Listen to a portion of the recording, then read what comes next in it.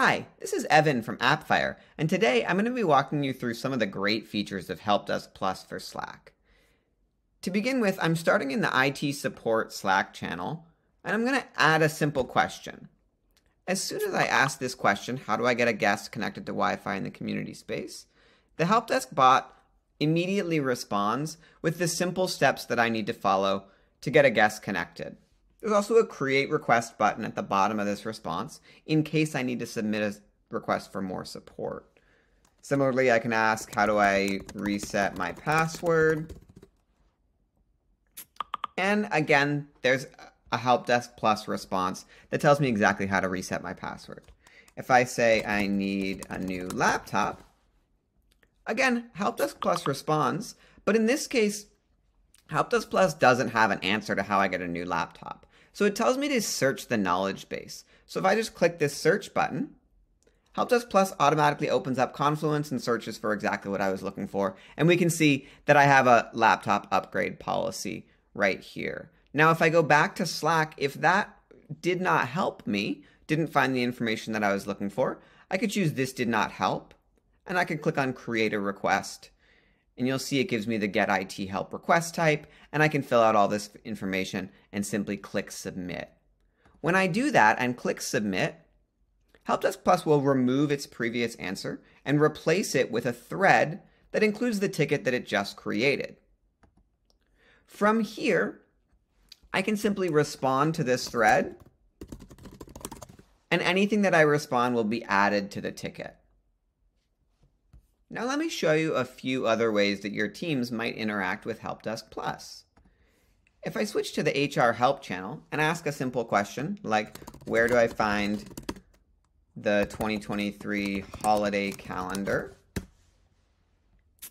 Help Desk Plus again responds, but in this case, the HR team wants to default people directly to their knowledge base. So once more, if I click search, this automatically opens up a Confluence search and I can see that the first response is the global holiday, holiday calendar.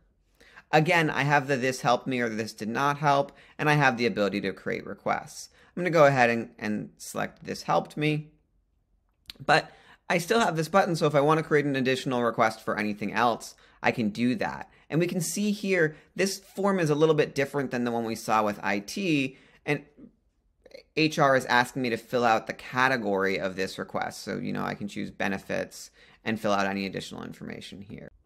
If I do choose to click submit to create a request, Help Desk Plus will again remove that initial response that it gave me and go ahead and create a request and give me a thread where I can respond back and forth. But this thread is in a public channel. So let's say that I needed to post something confidential like my home address.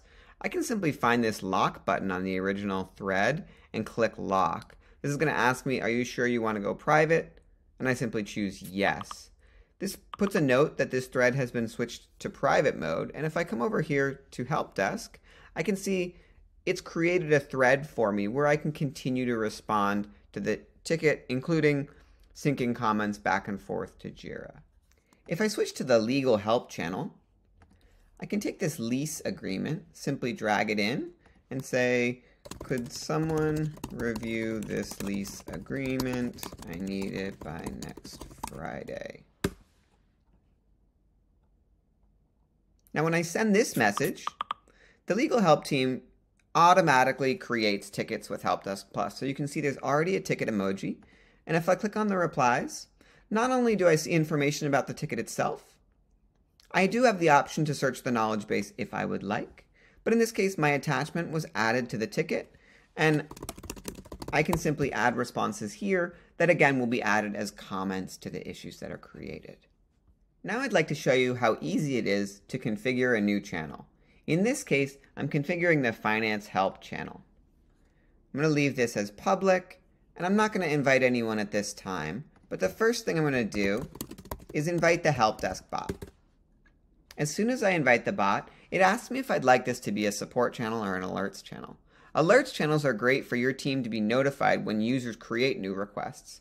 But in this case, I'm going to click configure next to support channel.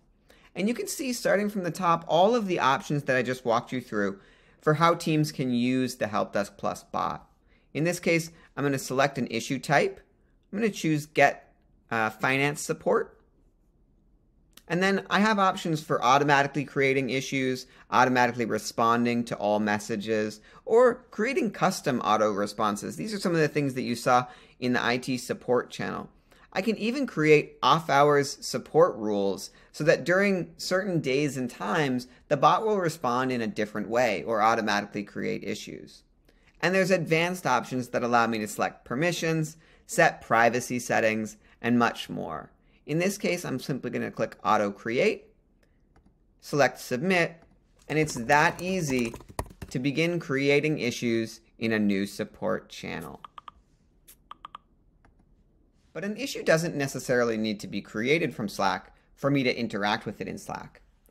So to show you an example, if I move to the IT Help Service portal here, I've already filled out some simple information, and if I click Send, as soon as this issue is created, I'll receive a DM in Slack from the Help Desk Plus bot.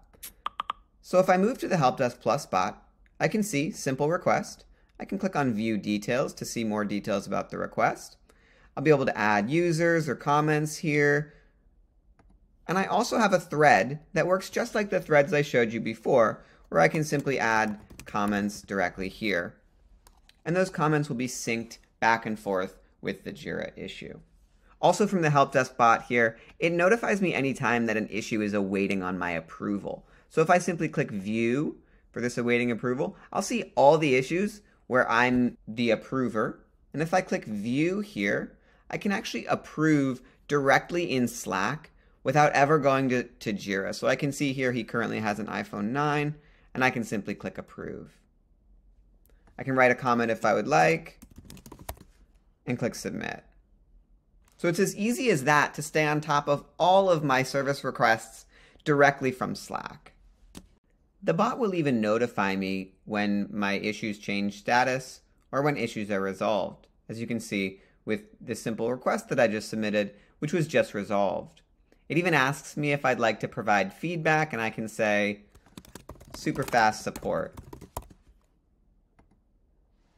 So just like that, that issue is resolved and I never had to go to Jira to interact with the ticket at all. Thank you for your time today. I hope you've enjoyed learning some of the great features of Help Desk Plus for Slack. If you have any further questions, simply go to hub.appfire.com and search for Help Desk Plus.